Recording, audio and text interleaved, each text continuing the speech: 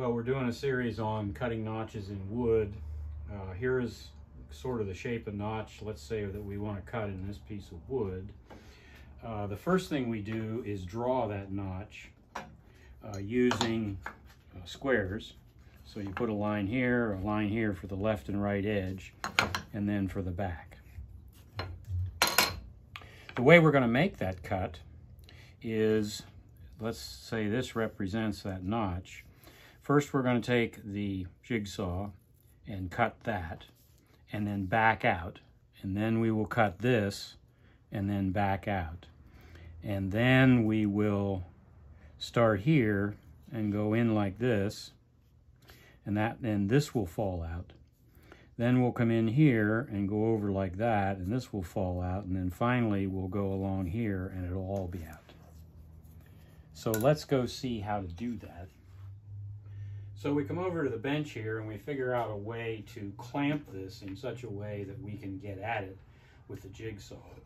I chose to put a piece of wood in my uh, vise in my vise on the workbench and then use a quick clamp like this to hook this piece of wood to the one that's in the, the vise. So now you see this is fairly soft.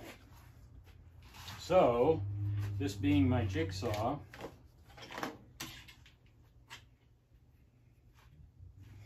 uh, let me make those first couple of cuts that we talked about.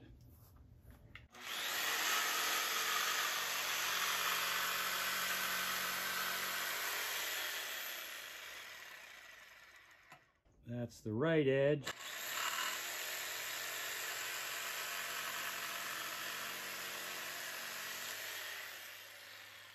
There's the left edge.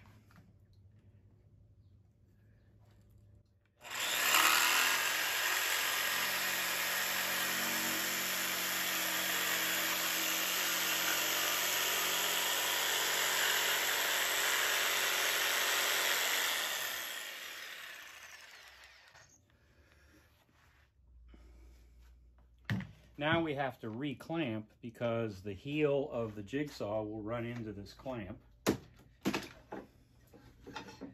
So we'll put the clamp now over on this side. Hopefully that will allow us to miss it.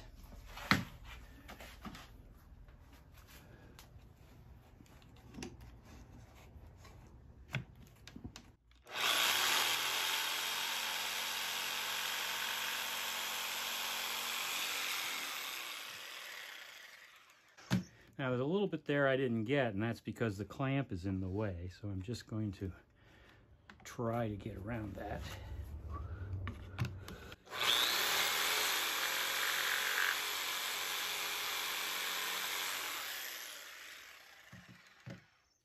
And there's our notch.